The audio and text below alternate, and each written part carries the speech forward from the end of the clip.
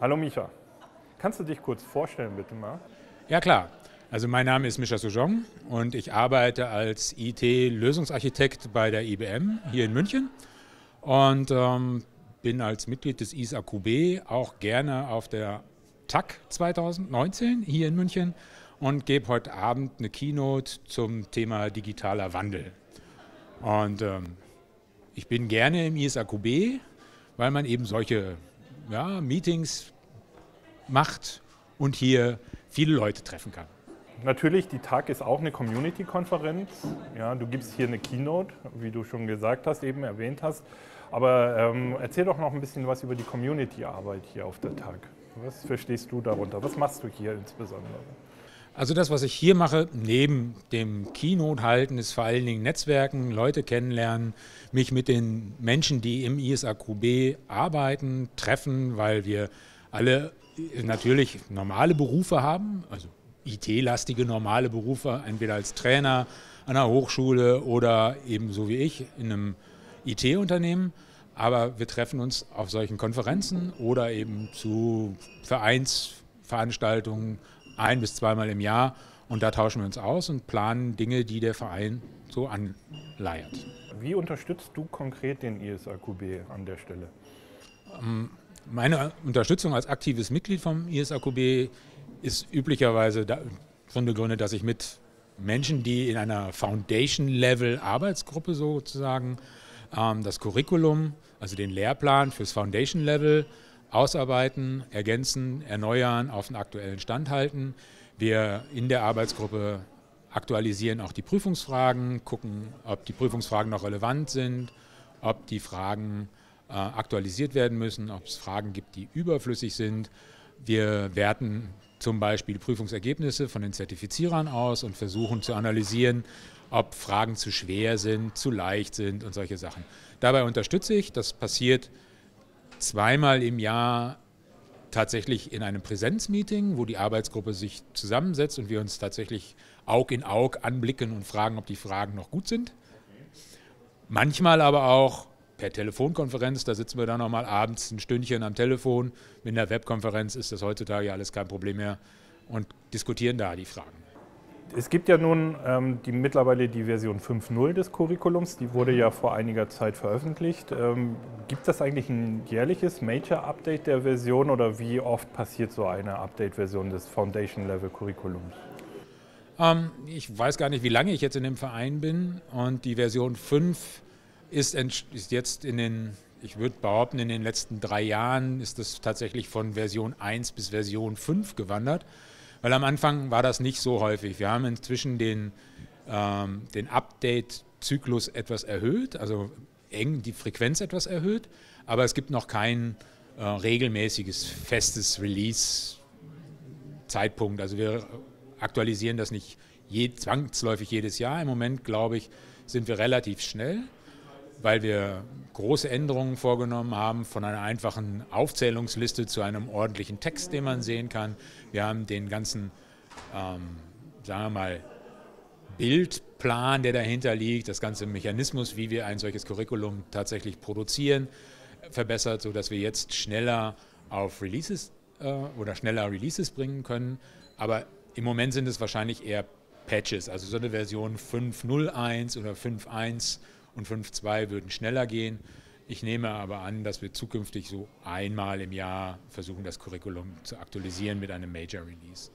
Wir haben heute Morgen in der Keynote ja gehört, dass das Curriculum mittlerweile offen, öffentlich zugänglich auf GitHub liegt.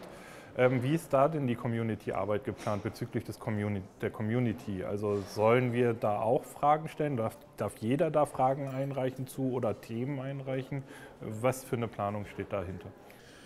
Ja, also die Fragen sind nicht so ganz einfach, die wir da stellen, also die wir in, für die Prüfung stellen. Und es ist vor allen Dingen auch nicht einfach, sinnvolle Fragen zu kriegen oder sinnvolle Fragen zu generieren, die einen ähm, Mehrwert für den Architekten bieten, beziehungsweise die auch tatsächlich ja, den, den, Prüf, den Prüfungsanspruch genügen. Wenn wir Fragen haben, die jeder ohne Training beantworten könnte, dann sind sie für uns schon nicht interessant. Aber die Fragen zu finden, da würde es helfen, wenn jeder mitspielt. Fragen zum Curriculum selbst und Themen, die wir haben, die wir sagen, die Community sagt, die Öffentlichkeit sagt, das ist jetzt wichtig, das würden wir uns auch gern vom ISAQB wünschen, die können wir dann über GitHub einreichen. Ja. Aber natürlich, dafür ist es ja so eine offene Plattform.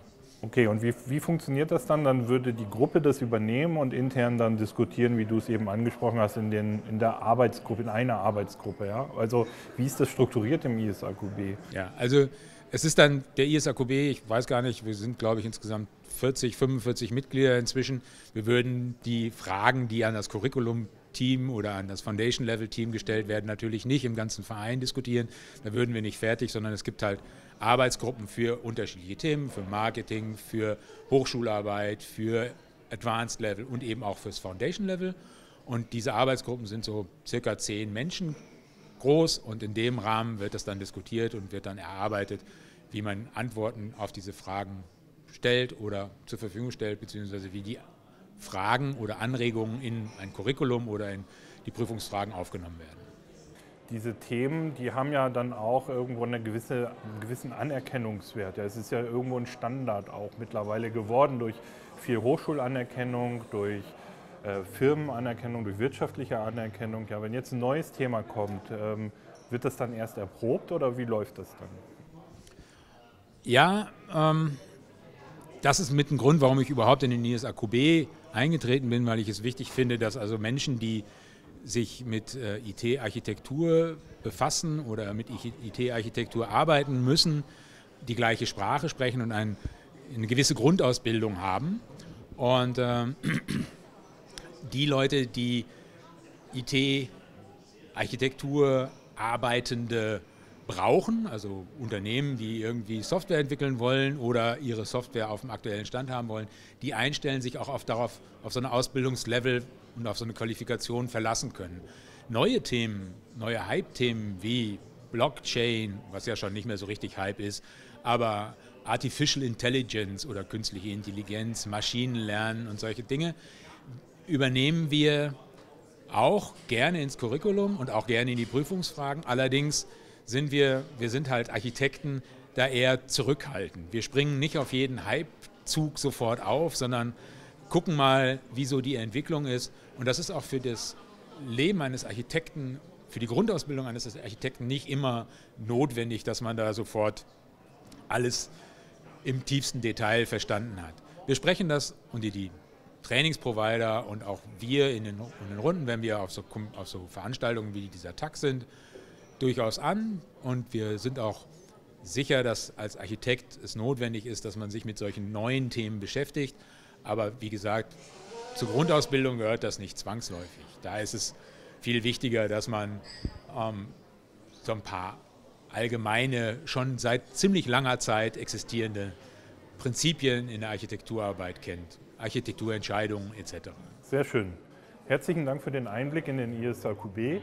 Abschließend noch die Frage, ähm, wir sind ja vom Verein aus immer wieder auf Mitgliedersuche. Was würdest du abschließend sagen, um die Leute zu motivieren, in dem ISAQB mitzuwirken oder uns zu unterstützen? Die Mitarbeit im ISAQB macht sehr viel Spaß, weil man zwar Architekten, also eigentlich vermeintlich eine homogene Gruppe von Menschen trifft, die sich irgendwie alle mit IT-Architektur beschäftigen, aber wenn man dann mit den Leuten mal zusammenkommt, stellt man fest, man ist doch völlig unterschiedlich und der Austausch zwischen den Leuten ist sehr anregend und macht fürchterlich viel Spaß. Und die Veranstaltungen, die wir haben, wenn wir unsere Mitgliederversammlung haben oder eine Open Space Veranstaltung haben, sind einfach großartig und es hilft, glaube ich, allen, wenn wir ein, eine gemeinsame Sprache und ein gemeinsames Verständnis von Softwarearchitektur entwickeln können. Misha, herzlichen Dank. Gerne.